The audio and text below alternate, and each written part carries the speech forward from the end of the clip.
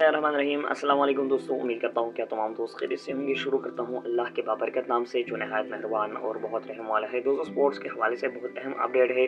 पाकिस्तान ने Asia cup खेलने से इनकार कर दिया है। ज़राए का कहना है कि पाकिस्तान ने एशिया कप खेलने से इनकार कर दिया है। मुख्तलिफ़ वेन्यू पर वो कह रहे हैं कि हम तमाम मैचेस पाकिस्तान में खेलेंगे। एशिया कप अगस्त के मेरे जुलाई के और अगस्त के फ़र्स्ट में शुरू होने वाला है। और तो उन्होंने मुख्तलिफ़ डिफरेंट व्यू वेन्यू जो है, मसल दुबे हो गया या श्रीलंका हो गया, जहाँ पर भारत के मैच है वहाँ पर खेलने से इनकार कर दिया है। और वो कह रहे हैं कि पाकिस्तान और भारत का मैच जो है वो पाकिस्तान में ही होगा।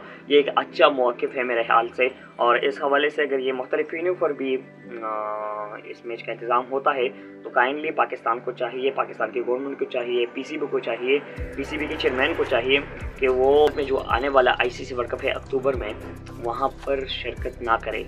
तो ये उसके हवाले से और पहले से बता दें कि अगर आप एशिया कप के लिए पाकिस्तान नहीं आएँगे तो हम इंडिया में नहीं खेलेंगे हमारे लिए डिफरेंट व्यू के यहाँ इंतज़ाम करें।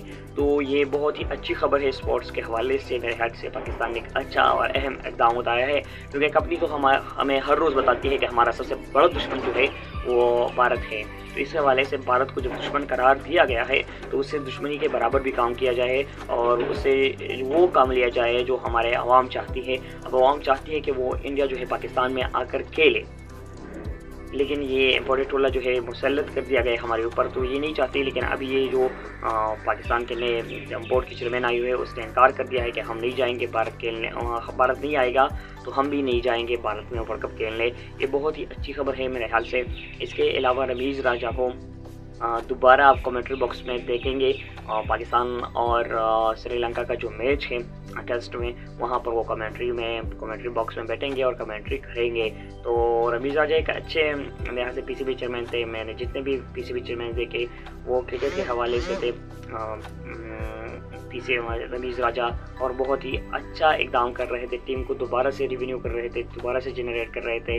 नए नए खिलाड़ियों को मौका फराहम कर रहे थे, लेकिन फिर से वो एम्पोर्टेड टोले ने हमारे ऊपर एक और चीज़ मुसलत कर दी जो पहले से मुसलत था नजब से थी, जिसकी चिड़िया उड़ो करती थी। वो तो ना जर्नलिस्ट है, ना चेयरमैन है, ना कुछ है, ना इसने कभी क्रिकेट खेली ही नहीं यार तो उसको फिर हमारे ऊपर क्यों मुसलत कर दिया गया था? और तो आप रमीज़ राजा को मिस कर रहे थे मेरे हाल से तो अगर आप रमीज़ राजा को मिस कर रहे थे, वो बहुत जल्द कमेंट्री सेक्शन में दोबारा वापस आने वाले हैं। दूसरा बाबर आज़म ने ये भी कहा है कि एशिया कप के हवाले से या, या आई सी वर्ल्ड कप के हवाले से श्रीलंका मैच खेलना हमारे लिए बहुत बड़ा हेल्पफुल साबित होगा क्योंकि वहाँ के पिचेस भी भारत के पिचेस के मुनासिबत मुनासिबत रखती है।